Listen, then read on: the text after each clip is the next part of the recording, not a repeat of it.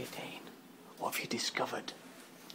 I went to get a chair and found someone asleep in my chair. Who have you found? Found Pete.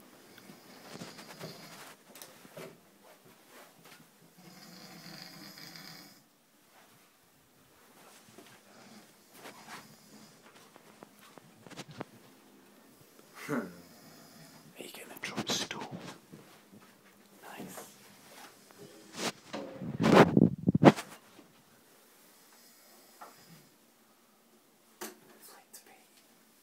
It's not very obvious, but Dane's sitting at